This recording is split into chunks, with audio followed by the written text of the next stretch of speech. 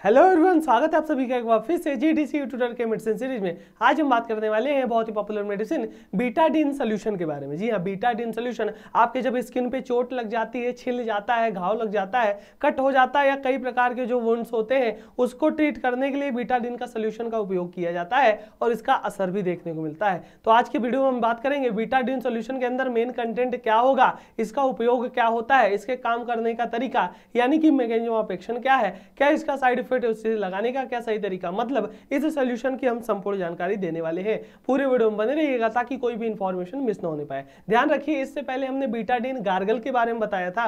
उसकी जानकारी देखनी हो तो आई बटन पर क्लिक करके आप देख लीजिएगा। चलिए देख लेते हैं डियर बीटाडीन सोल्यूशन जी हाँ बीटाडीन सोल्यूशन के अंदर जो मेन हमारा एपीआई मेन कंटेंट होगा वो है पोविडोन आयोडीन मेन कंटेंट होगा, जो कि इस सोल्यूशन इस बॉटल में 10% वेट बाई वॉल्यूम के अमाउंट में इसमें मिला होगा। विन मेडिकेयर प्राइवेट लिमिटेड द्वारा बनाया जाता है और इसे 30 डिग्री के बिलो स्टोर करते हैं। प्राइस की बात कर ले तो 100 एम के बॉटल की कीमत 115-120 के आसपास होती है डियर। बात करेंगे इसके यूजेस के। जी हाँ मेनली जो बीटाडीन है टेन परसेंट सोल्यूशन होता है, एक तरह से एंटीसेप्टिक एंटी माइक्रोबियल हमारा सोल्यूशन होगा, जो कि अलग प्रकार के, हर प्रकार के जो वोंड इन्फेक्शन हो गए, छील गया, कट गया, है ना, या घाव लग गया, रगड़ खा गया, वो सारी चीज़ों को ट्रीट करने के लिए होता है।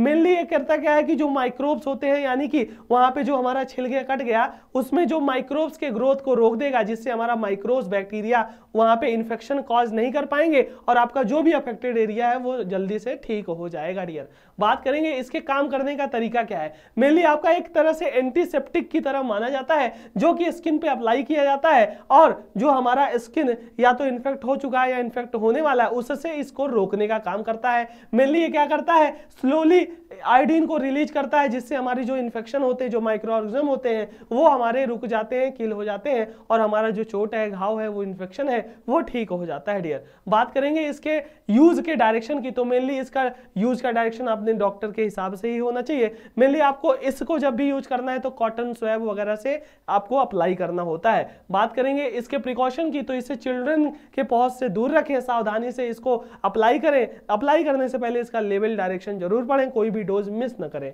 साथ ही साथ इसके कुछ कॉमन साइड इफ़ेक्ट की बात करें तो इसका एप्लीकेशन साइड पे रिएक्शन जहाँ पे आप लगाते हो कभी कभी आपको क्या बर्निंग सेंसेशन हो सकता है इचिंग हो सकती है रेडनेस की समस्या हो सकती है।